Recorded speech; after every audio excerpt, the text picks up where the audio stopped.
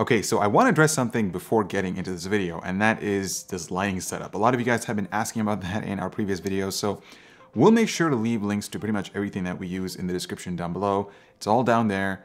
You're welcome. Now, AMD's Ryzen 5000 series of desktop CPUs have surpassed everyone's expectations as to what it can deliver to the desktop platform. In fact, we did a complete performance analysis on the Ryzen 5 5600X, the Ryzen 7 5800X, and the Ryzen 9 5900X. If you missed out on that, you can check it out right over here. One of the things that was brought up in the comments from our previous review video uh, was the fact that nobody was able to actually buy one of these new CPUs. And the truth is, from all the retailers that we've been talking to, they seem to be getting a lot of them in stock uh, in the next few weeks, so there's nothing to worry about that. It's not like the RTX you know 30 series launch where pretty much finding one is literally impossible but this seems to be taken care of. The only thing you need to keep in mind is that cpus like the 5900x and the 5950x uh, were launched with limited availability uh, than the 5600x and the 5800x with that being said today i wanted to focus on this guy the ryzen 9 5950x this processor deserves its own dedicated video because it resides in a class of its own. And if you want to learn more about the architecture in the Ryzen 5000 series lineup, uh, make sure to check out our other video. So, the 5950X. It's the fastest Zen 3 CPU that AMD has launched so far, and its primary focus is to deliver the best multi-core performance in pretty much every application that can take advantage of that feature. So let's find out how it stacks up against its predecessor, the Ryzen 9 3950X, and we'll also throw in some Intel CPUs just for fun. So let's dive in right after this. The new Pure Loop all-in-one coolers from Be Quiet have a doubly decoupled pump near the radiator for silent operation and flexibility for mounting, an elegant cooling block with pure white illumination, an accessible fill port on the radiator with liquid for future proofing, and Pure Wings 2 fans on the rad. Check it out below. Alright, before I go over our test system and benchmarks, I do want to quickly talk about the specs of the 5950X. It features 16 cores and 32 threads, a base clock of 3.4 GHz, which is 100 MHz lower than the 3950X. However, the boost clocks is 200 MHz higher, so 4.9 GHz, which is just crazy. AMD has also managed to deliver the 5950X within the same 105 watt TDP spec, just like the 3950X, so they haven't sacrificed on power efficiency. But this thing is priced at $800, which is not cheap by any stretch of the imagination. In fact, it's a $50 premium over the 3950X when it was launched, and you can pick up that CPU for around $700 these days. Now look, if you're an average consumer, or let's just say an average gamer, you might not be looking at a CPU like this because it's probably way too powerful and definitely way too expensive for your respective needs.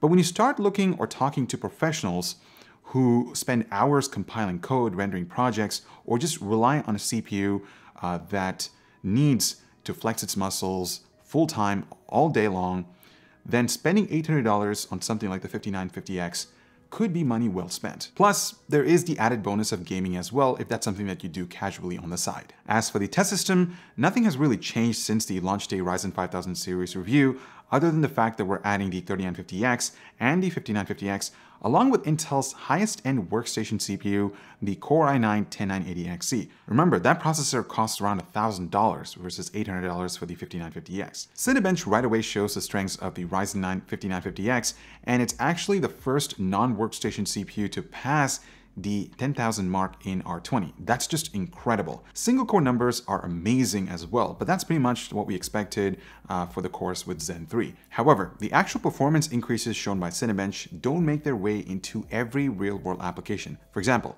Many video rendering tasks are now shared between the GPU and the CPU, so while you'll see a speed increase by moving to Zen 3 from Zen 2, it's actually quite minimal even with the 3950X versus 5950X situation. Moving on to animation rendering in Autodesk Maya, and that's where some of the benefits from Zen 3 start to show themselves in a bit more meaningful ways. But would I upgrade from a 3950X to a 5950X for pure rendering tasks? Probably not. Zen 3 does provide a performance increase in multi-thread apps like these. On the other hand, the 5950X is an amazing option for someone upgrading a rendering workstation or productivity machine that's a few years old. In that case, it offers a massive speed up and pretty affordable price uh, for that market. The same thing can be said about Handbrake, where it looks like throwing more cores at the problem doesn't give massively different results from the 5900X. But it's still amazing to see what the 5950X can offer versus the previous generation. Program compiling though, this, this is one area where the Ryzen 9 5950X really, really shines. Here, it just demolishes almost everything in its past. I said almost because the only exception in this is the 10980XE, which actually gets its first and only win here. Metashape shows some real improvements too, and I think this highlights where the strengths of Zen 3 are. Whenever a workload's purely multi-core driven like Maya or Blender, these new CPUs offer a good generational uplift over the previous generation.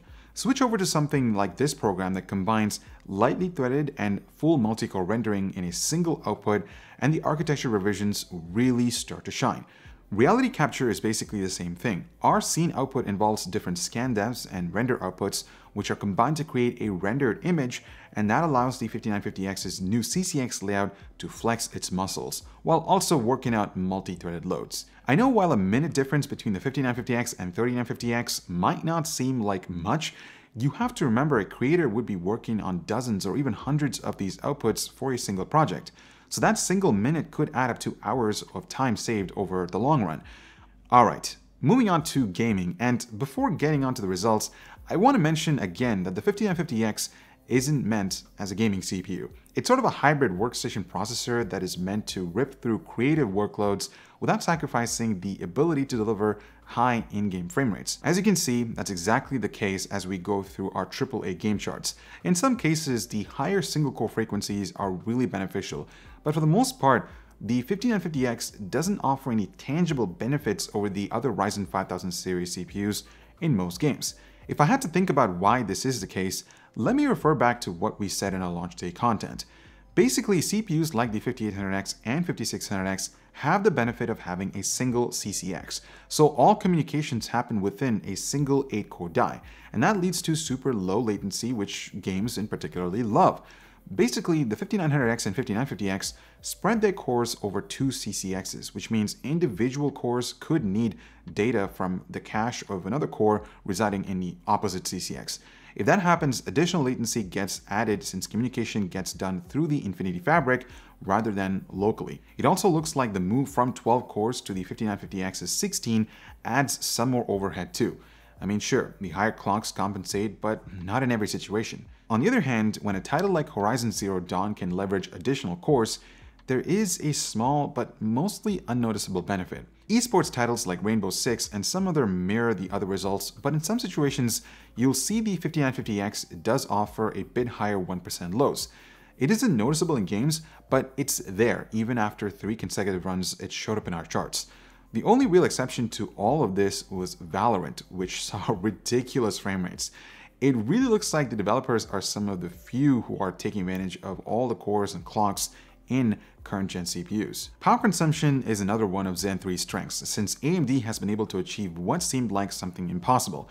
They've given it a massive generational performance increase, higher sustained clock speeds, better lightly threaded performance, and literally the same power envelope, all without changing to a new manufacturing process or sacrificing in any other areas. It's pretty incredible, guys. So that pretty much wraps up this review, and all I have to say is that the Ryzen 9 5950X is one heck of a CPU for pretty much any multi-threaded productivity application. It's a beast, and even at $800, it can actually provide a really good value for someone who might be rocking a workstation uh, that's maybe two or three years old.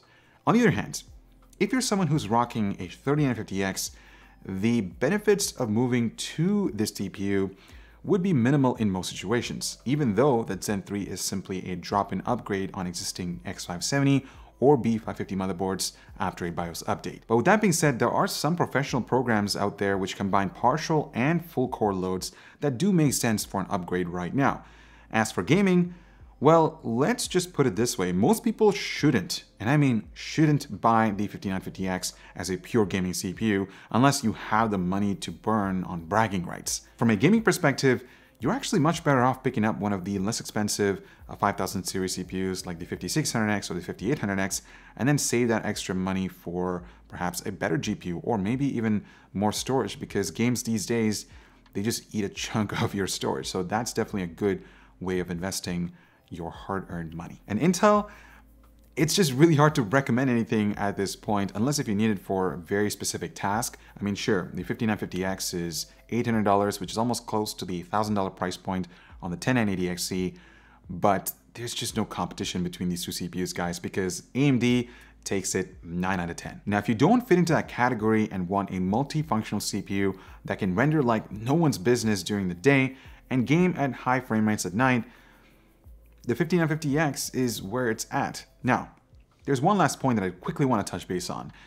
You see, you can actually save a lot of money and go for the Ryzen 9 5900X because if you look at the differences between those two CPUs, it's actually not a lot and it's almost like a $250 difference between the two uh, and you can save that maybe towards, like I said, a better storage solution or maybe a higher end GPU. So that's another way of looking at things because um, like I said, if you're purely like editing videos in Premiere Pro and DaVinci Resolve, you're much better off with something like the 5900X because the 5950X, it's just, it doesn't really give you that much in terms of performance. So on that note, thank you so much for watching.